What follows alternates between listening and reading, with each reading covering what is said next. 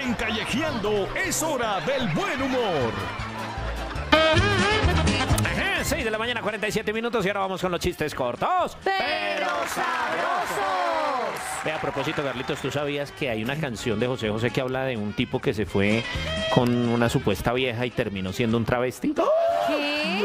Sí, señor, la canción se llama Gavilano Paloma. Si algunas personas le ponen a- analicen la letra. famosísima. A propósito, hoy les tengo, y eso lo descubrí porque hoy les tengo un, un top bastante interesante, si nuestra productora Carolina no lo, Lo permite, permite. Vamos a hacer un top de algunas canciones que si analizamos la letra, pues mm, van a, a descubrir cositas como estas. Pero bueno, vamos con el humor mientras tanto.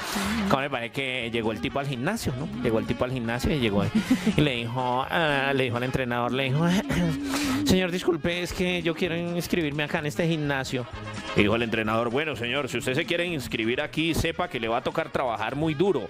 Dijo, ay, luego es que los ejercicios son muy difíciles. Dijo, no, pero las mensualidades son carísimas.